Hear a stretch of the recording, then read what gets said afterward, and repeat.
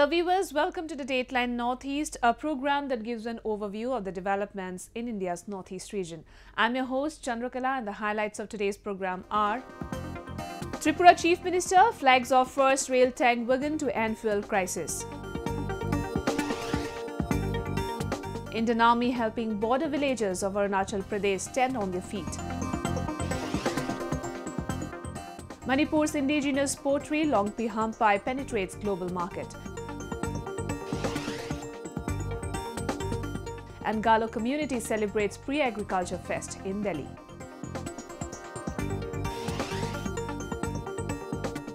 In yet another thrust towards development, Chief Minister of Tripura Biplab Kumar Deb flagged off the first ever train to introduce rail tank wagon unloading facilities at Dharamnagar in Agartala.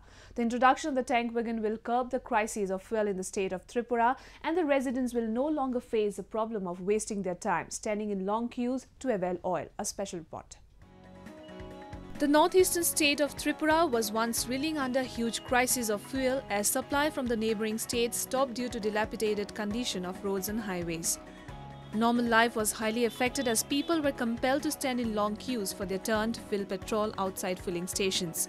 To bring an end to the decade-long fuel crisis and black marketing in the state of Tripura, the newly formed government under the leadership of Chief Minister Biplab Kumar Deb recently flagged off the first train with rail tank wagon unloading facilities at Indian Oil POL depot at Dharamnagar in Agartala. The introduction of the rail tank wagon in the broad gauge railway will bring a paradigm shift in the availability of the right amount of petrol and diesel in the state depots. Altogether, 26 tanks have arrived which can accommodate a total of 17 lakh 60,000 litres of oil. A stock of petrol for three months can be stored in the tanks. अभी broad gauge line चालू हो जाएगी और सीधा train से जो bogie train का जो टैंकर है उसी टैंकर से तेल डीजल पेट्रोल डिपो में चली जाएगी और पर डे 600 किलो लीटर उसमें अनलोड होगा तो त्रिपुरा के कंजम्पशन पेट्रोल और डीजल मिला के छः सौ के आसपास ही कंजम्पशन होती है दोनों मिला के तो 600 पर डे वहाँ आ जाएगी तो त्रिपुरा में कहीं भी पेट्रोल पंप में लाइनें लगने नहीं देंगे और शेखरकुट में भी हमारा दूसरा डिपो हो रहा है The inauguration of the rail tank wagon in the state has added more value to Tripura's social fabric.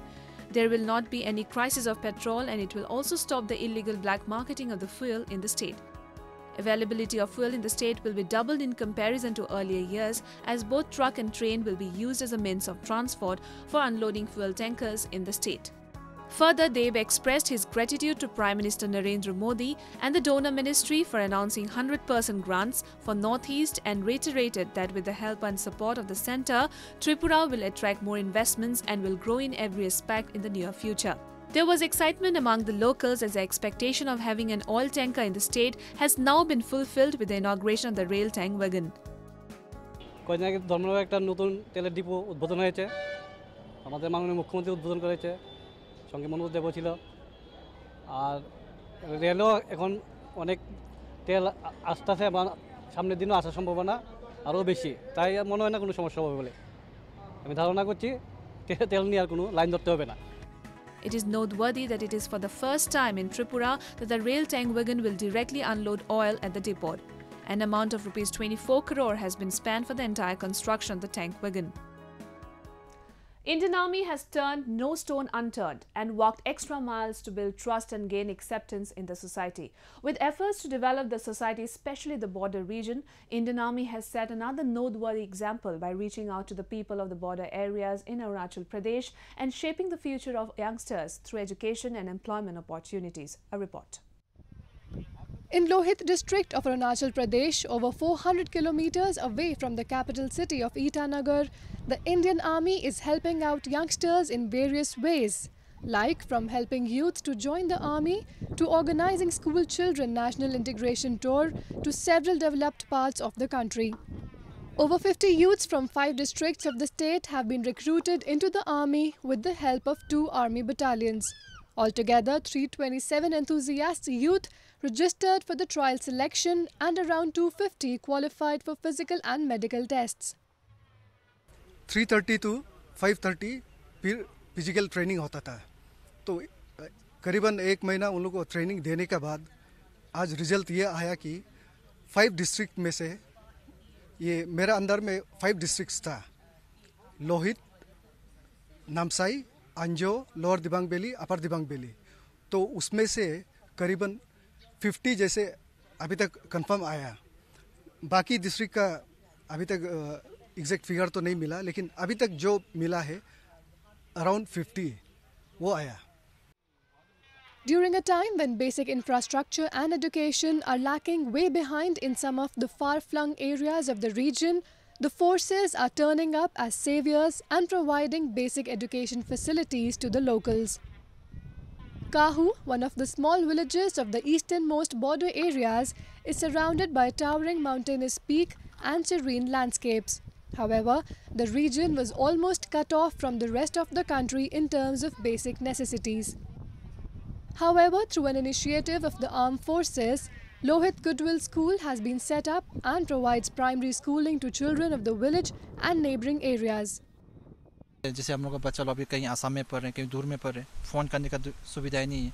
अभी यहाँ में दिच्छू में है तो उनसे आर्मी से अच्छा सहयोग मिलता है, जाके वहाँ से फ़ोन कर लेते हैं एसटीटी से वहाँ फ़ोन हो जाता है। यहाँ आर्मी का गाड़ी उनसे सहयोग मिलेगा कुछ सामान लेना है, हमारे पास तो गाड़ी है ही नहीं, उनके गाड़ी से हम सामान लाते हैं।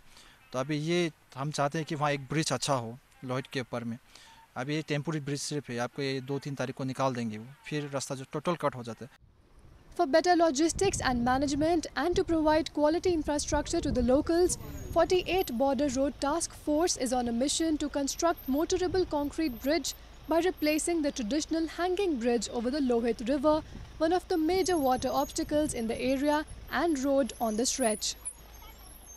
इस पूरे एरिया में लोहित रिवर जो एक मेजर वाटर ऑब्स्टिकल है। उसके ऊपर एक आखिरी ब्रिज, जो कि हवाई में है, जिसके ऊपर से गाड़ियाँ पास हो सकती हैं। उसके आगे इस सेक्टर में कोई भी ट्रैफिकेबल ब्रिज नहीं है। हमने अब ये टास्क लिया है और एक ब्रिज अंडर कंस्ट्रक्शन है, जिसमें मल्टीपल ब्रिज बेली ब्रिजेस लगेंगे और उसके बाद एक बेली सस्पेंशन ब्रिज लगेगा। ये ब्रिज लगभग जुलाई 2018 तक बनके तैयार हो जाएगा। On the other hand, standing at 8,000 feet above sea level, the Walong's Helmet Top in Anjaw district of Arunachal Pradesh is a monument which is dedicated to the unknown soldiers who laid down their lives during the Battle of Walong 1962. Over the past years, the armed forces had gathered various war memorabilia like iron helmets, empty cases of light machine gun magazines, fired mortar shells, and silver mugs used by the soldiers, which had been lying open since 1962 and placed at one place. The unique and rich culture of Manipur attracts art lovers from across the globe. The traditional pottery making, popularly known as Longpi Hampai or Longpi pottery, is fast gaining popularity among people and receiving recognition in the global market. Matthew Sasa Craft in New Delhi represents the rich heritage and promotes the aesthetic culture of the Tangkhul Naga community in the national capital. The serene nature-filled hill district of Manipur, Ukhrul, is home to the famous Longpi Hampai or Longpi pottery which has attained international popularity for its unique art and craft. This famous ancient art is originated from two Longpi villages known as Longpi Kulan and Longpi Katri, 37 kilometers away from Ukhrul district headquarters. The use of this art is widely prevalent in the state, especially the Tangkhul community, the inhabitants of the hill district, since time immemorial. In a bid to bring awareness and promote the art of the community, Matthew Sasa Craft, an initiative by Matthew Sasa from Longpi Katri, is striving to popularize this once glorious art through various platforms in the metropolis, including International Trade Fair, National Handloom and Handicrafts Expo, and regain its charm. national level international level exhibition ka bak tong la tamre kichwe na khla kichwe na gje frequency line ngahan chon ni jila. Ki kichwe potri ki apam ne shem ji ja jani thum tang khun la kha we na ne hi chi thai hi hi thai gje ja tam ji athum tha da. O chi thala gje tra ga na hi we na tang khur na ga gje ham hi we na tra ga sha phi ji ne. From an early age, Matthew Sasa was acquainted with the art of making this black pot from his father, Machihan Sasa, a skilled craftsman whom he himself promotes the craft through his organization Sasa Hambai Pottery Training Cum Production since 1960. insa khrai le chingum mgde phanga gai re nui la kai sa ba weli na school shop la ka ungsang chon ungsang chon la interest le na la ga ili la mi dai la tam khui maman thada interest man la me. Isa ba na chung Before the advent of aluminium products, Longpi pottery was extensively used as cooking utensils in every kitchen of the Tangkhul community. This well-known Longpi pottery is made from a mixed base of ground black, serpentine stone and a special brown clay which is found only in Longpi village. It is noteworthy to mention that this unique Longpi pottery is purely based on handwork and the craftsman requires high skill and great attention as the borders do not use the border wheel. After the boards are manually shaped, polished and sun-dried, potters collect the products and heat it in a bonfire. The black color and effervescent look of Longpi pottery is the result of polishing the heated earthen pots with a tree leaf. Altogether, the process of making this unique black pot takes six days.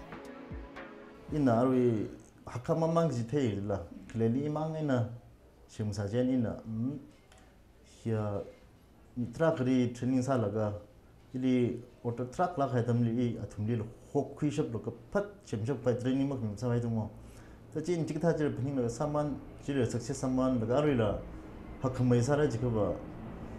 Ta da yu is society he na hak mai da partnership hi jang. Ni ka chung li ng so pam la ga in na yang sang la ga ta da mi wi demand ba je. Full free sam yung sak ngai. Ta da production ni chung mai da. Mm. salaga kada pani ji under the flagship of Matthew Sasa Craft, so far around 40 to 50 youth from the region have been trained on Longpi pottery and currently the organization is providing employment opportunities to seven school dropout youth from the community. This rich outlook and unique Longpi pottery has gained popularity not only in the country but also attained admirers from countries like Australia, Sweden, Germany and the United States. Let us now take a look at some of the events that made news in the Northeast recently. In a major step to check the increasing crimes against women in the state of Assam, Chief Minister Sarbananda Sonowal launched a helpline Sakhi. The toll-free women's helpline number 181 was launched in a special program held at Chief Minister's office at Janata Bhavan. Addressing the gathering, CM Sonowal expressed concern over the recent rise in crimes against women in the state and the region as a whole and said that the state government is taking serious measures to combat the same and that strict action would be taken against the perpetrators of such crimes. Chief Minister of Meghalaya Conrad Sangma called on Union Minister of State for Home Affairs Kiran Rijiju in New Delhi and discussed on various issues like law and order situation in the state of Meghalaya. Chief Minister Sangma informed that it was a courtesy call and that he shared about the overall law and order situation in the state of Meghalaya with Kiran Rijiju. He also requested him to support for the law and order situation and also from development perspective. Our new government has been formed and people have high expectations and we would like to perform so we need all his guidance and support, he added. Manipur Chief Minister N. Biren Singh recently distributed free hearing aids, smartphones and wheelchairs to differently abled persons at the recently held Samajik Adhikarita Shivir at Khuman Lampak Indoor Stadium. Singh said that under the Chief Minister Gi Sotharabang Singhi Tengbang scheme, around 3,000 persons with 80% disability or more were provided caregiver allowances, maintenance grant to persons of Rs 1500 per month by the state government till now.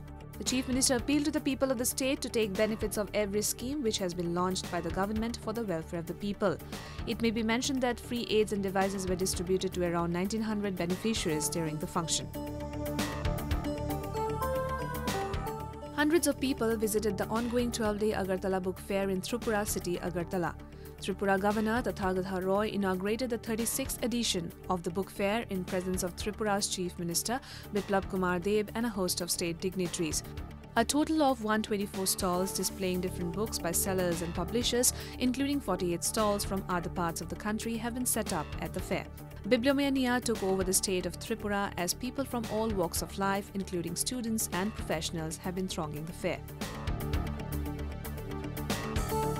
The third Manipur International Documentary Short and Animation Film Festival was recently held at Manipur State Film Development Society Palace Gate. The festival was jointly organized by Film Division, Ministry of Information and Broadcasting, and MSFDS. Further, internationally acclaimed filmmaker Jahnu Barua said all the filmmakers in India they have been making very good films and documentaries. Filmmakers from Northeast are regularly making very good films, but the exposure is something different. The outlets, both public and private, are very limited, and I have been struggling to convince organizations, including government. The festival provided a platform to young filmmakers to showcase their talent. Sangeet Natak Akademi Award winning recipient Reba Kanta Mahanta from Assam has been recently conferred with the Moghai Ojha Srijan Award. The octogenarian artist Reba Kanta Mahanta has been engaged in the art of mask making and has made over 4,000 masks till date. It is noteworthy that Moghai Ojha Srijan Award is instituted in the year 2015 to promote ethnic culture in the state as a tribute to the name of legendary Dhulia or drum player Moghai Ojha. The Sangeet Natak Akademi Award recipient was awarded with a check of Rs 25,000, a citation, and a memento. Srijan Assom, the organization that revealed the awards this year, has also announced two new scholarship schemes to support economically marginalized students to help pursue their education. Srijan Assom Siksha Sarothi and Srijan Assom Shiksha Praj. A number of elite runners from different countries and across India thronged the city of Guwahati to participate in the Star Cement Bhag Northeast Bhag International Marathon, organized to spread awareness about clean, hygienic and healthy Northeast. Flagged off by Bollywood actress Bipasha Basu, the marathon acted as a platform for many including fitness enthusiasts and runners to run for a noble cause. Let's have a look. Thousands of people from all walks of life and from different parts of Northeast and other countries participated in the recently held International Run for Northeast Star Cement Bhag Northeast Bhag in support of a clean India. The half marathon was flagged off by Chief Minister Sarbananda Sonowal in presence of Assam's Transport Minister Chandra Mohan Patowary and Bollywood sensation Bipasha Basu at Khanapara Veterinary Ground in Guwahati. Runners of both national and international repute turned up to run for the noble cause of spreading awareness about healthy and hygienic lifestyle. लोगों में अपने health के प्रति बहुत ज़्यादा आजकल जागरूकता है और मैराथन तो पूरी कंट्री में ही हर जगह पे बहुत ज़्यादा पॉपुलर हो चुका है आजकल। आप बॉम्बे देखिए दिल्ली देखिए इवन पूरे वर्ल्ड के अंदर हो चुका है। तो हमने कहा कि भी एक ऐसा कुछ हमारे नॉर्थ ईस्ट में भी होना चाहिए।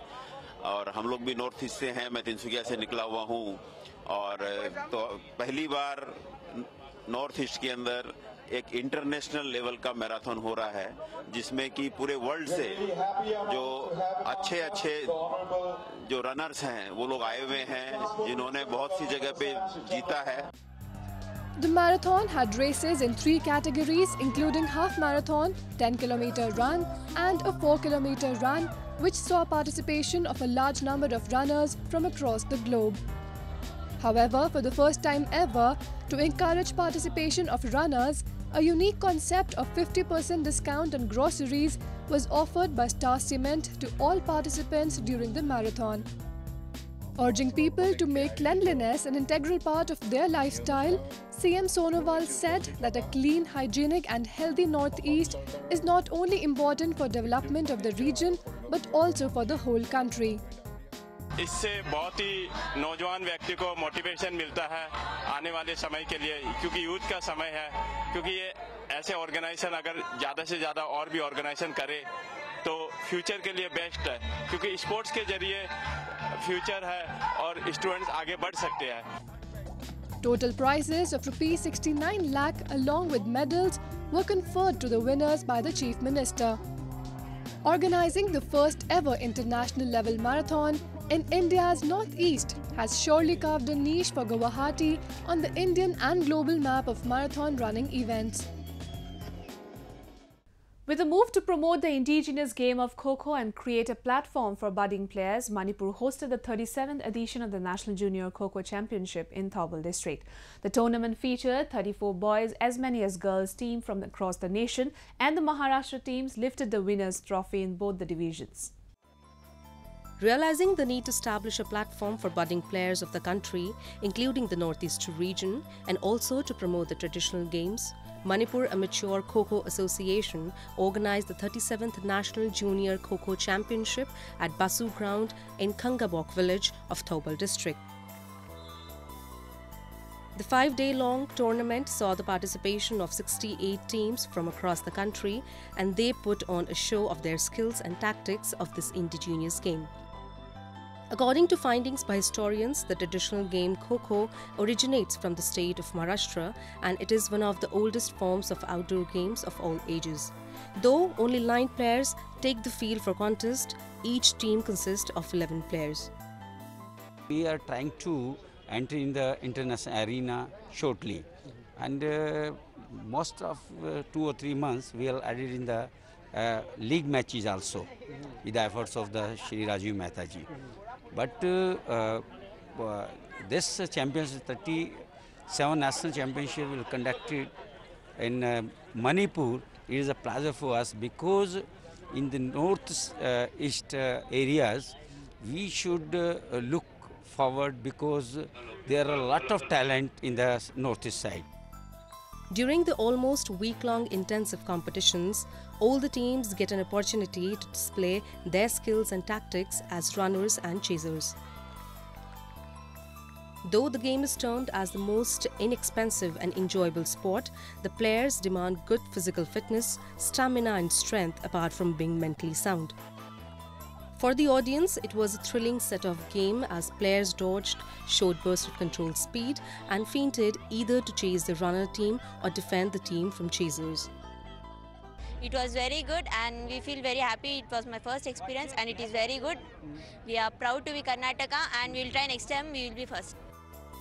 During the final matches played at the Basu ground, Maharashtra clinched both the junior boys and girls Kho Kho championship, whereas Kolhapur bagged the first runner-up for the junior boys while Tamil Nadu and Karnataka jointly bagged the second runner-up title.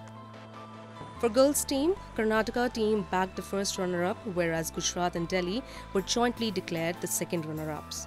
Host Manipur lost to Gujarat during the pre-quarterfinals. हमने बहुत practice की थी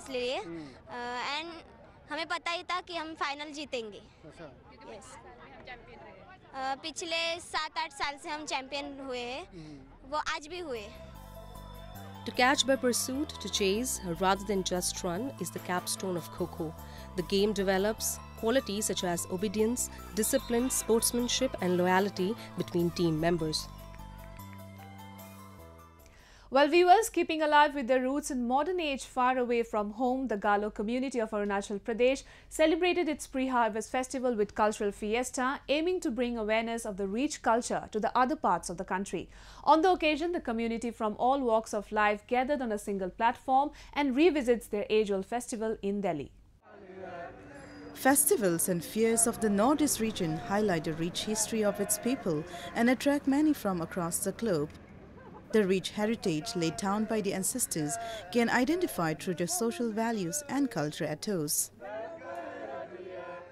Keeping alive the close-knit community and intact the rich heritage in their day-to-day -day life, the migrant community, both students and professionals of the Northeast region in Metropolis, often come together and revisit their roots through festivals and events. The Mopin celebration in the national capital by Galo Our Society Delhi featured glimpses of various culture performances, which includes culture dance, folk music, and exotic cuisine and local rice pure gold oppo of the Galo community. Mopin is actually our annual festival, and we would like to have this festival every year, even if we're not in Arunachal, because while we have this Mopin it kind of we get a chance to indulge in our culture and we get a chance to showcase our culture also. Known as one of the major tribes of Arunachal Pradesh, Galo community celebrates the Mopin Festival, a pre-harvest festival to seek agriculture blessings from the Mopin deity for healthy harvest. Smearing of rice powder on each other's face marked the beginning of the agriculture festival. And what is also heartening is the fact that I think the younger generation has not forgotten the roots. While we all know that it is very difficult to replicate the kind of celebrations that we have in Arunachal back home. But what is more important is to keep the spirit of Mopin alive, which you guys have done wonderfully well. Dance troupe from the Delhi University Maitreyi College North East Cell opened the culture event with their beautifully choreographed traditional dance and thrilled the audience.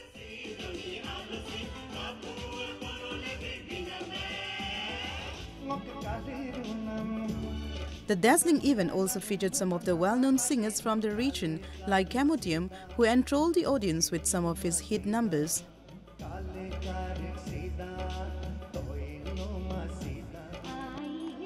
Audiences at the event were also outstruck by Kambi Baduhibu's performance as she belted out some of the hit songs of Bollywood singer Asha Bhosle such as Aiye Meherban.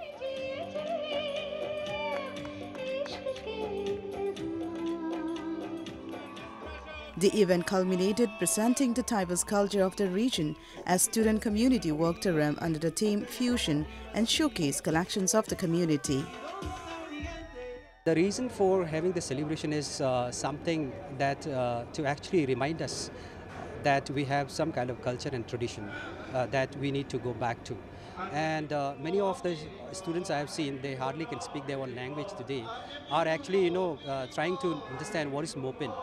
So therefore, it somehow uh, gives them knowledge and it's an occasion by which they actually can dwell into our own culture and tradition. This grandiose celebration also featured who's who from the region. Such events do not only bring the community together for ponting, but also create an atmosphere for an inclusive participatory for all.